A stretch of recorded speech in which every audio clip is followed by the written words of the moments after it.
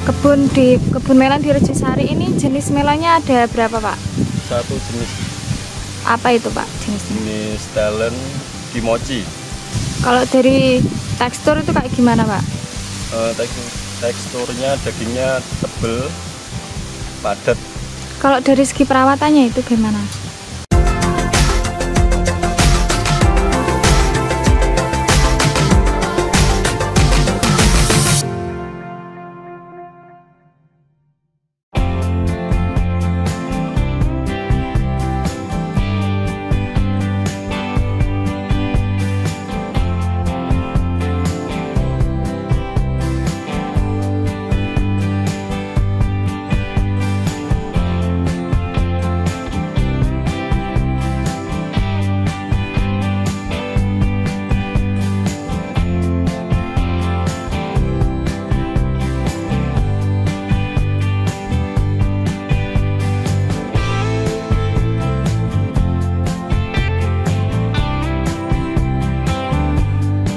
Kebun di kebun melon di Rejosari ini jenis melonnya ada berapa pak? Satu jenis Apa itu pak jenisnya? jenis talent kimochi. Kenapa kok milih jenis itu pak? Eh, tingkat rasanya lebih kemanisannya lebih tinggi. Kalau di- kalau dari tekstur itu kayak gimana pak? Eh, tek- teksturnya dagingnya tebel, padat, Oh, nyal, Pak. Lebih banyak diminati ya pak? Iya, lebih banyak diminati. Oke. Kalau dari segi perawatannya ini termasuk mudah atau gampang nggak sih pak? Ini gimana pak? Bisa dijelasin pak? Perawatannya ya ada maksudnya tingkat tingkat gagalnya ada 5% sampai 10% Mbak. Lebih menguntungkan yang melon ya pak? Berarti pak? Iya, lebih menguntungkan yang melon. Kalau hidroponik ini sistemnya kayak gimana pak itu pak?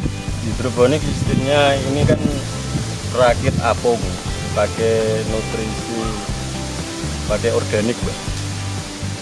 Nutrisi organik terus airnya sirkulasi.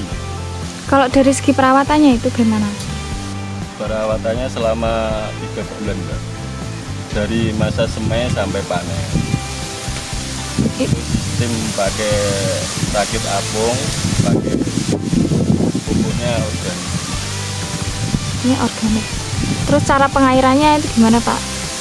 Pengairannya sirkulasi. Eh, tiap hari tes pH sama ini harus dikontrol, harus dijaga terus. Nggak bisa apa? Kalau pH misal pH-nya turun kan bisa ntar tanamannya bisa layu atau gimana. Kalau ciri-ciri yang matang itu gimana pak? Buah yang matang. Yang matang udah daunnya kuning. Ciri-cirinya buahnya kuning ya pak. Terus ini perawatannya termasuk mudah dan atau gampang pak? Atau sulit ini pak? Oh, dibilang mudah ya emang butuh ketelitian terus yo mudah yo ada susahnya mbak gitu Tapi kalau pemula bisa ya pak untuk mengikuti?